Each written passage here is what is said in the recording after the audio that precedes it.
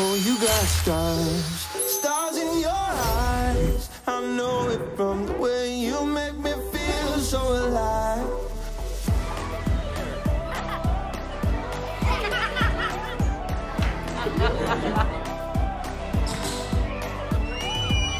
What we do here has the potential to be magical and special.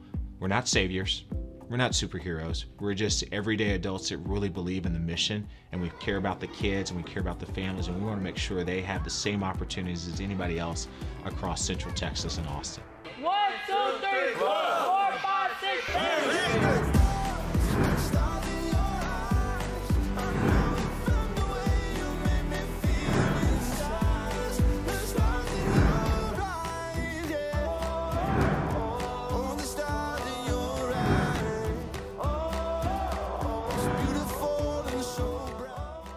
Our folks that are employers out there have the next crop of potential CEOs, CFOs, managers, entry level employees, interns, but that starts today with the Boys and Girls Club because those dollars matter. So thank you from the bottom of all of our hearts.